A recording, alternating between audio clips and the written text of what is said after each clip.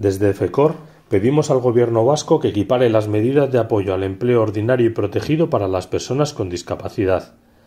Este año, las ayudas han sido de 6,5 millones de euros para los centros especiales de empleo y de 850.000 euros para la inserción laboral en empresa ordinaria.